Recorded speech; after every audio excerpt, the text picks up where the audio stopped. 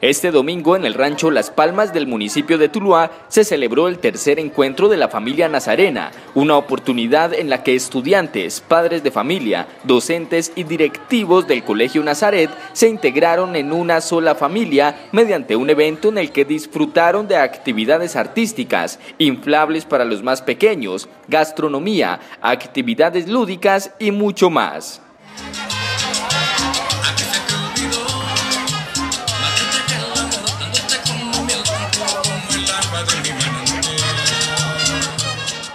Todo esto es apoyado por el Consejo de Padres de la institución, ya que tanto ellos como directivos entienden que trabajando unidos ayudan al crecimiento y desarrollo de las capacidades educativas y la formación de cada alumno.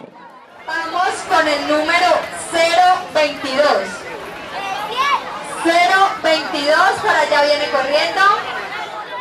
padres de familia e hijos trabajaron unidos en bingos, gincanas y otras actividades que fomentan la solidaridad y unión familiar, así como el amor por el colegio.